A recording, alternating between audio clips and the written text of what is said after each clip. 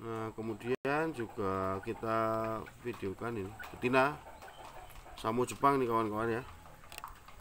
Black Samu ya. Biar makan dulu. Habis selesai oh, makan dulu.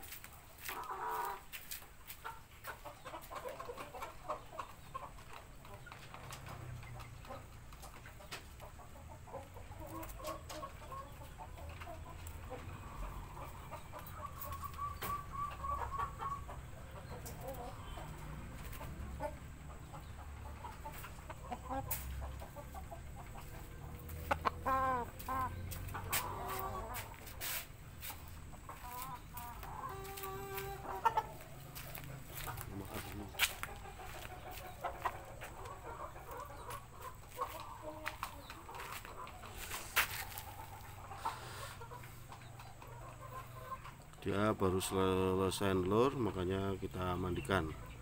Nah untuk betina ayam samu kawan-kawan ya biasanya setelah proses eh, selesai bertelur dia akan agak kurus badannya kawan-kawan ya. Tapi nanti kalau sudah pemulihan ya, badannya akan gemuk lagi.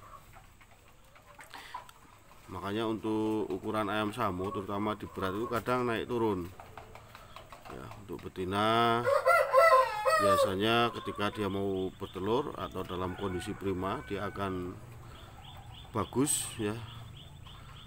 Beratnya kemudian biasanya setelah mengeram ya untuk semua jenis ayam setelah mengeram rata-rata setelah telur dia pasti akan mengalami yang namanya ini. U apa karena ketika mengeram itu sama dengan berpuasa kawan-kawan. Sehingga wajar ketika selesai telur badannya akan sedikit kurus kawan-kawan ya.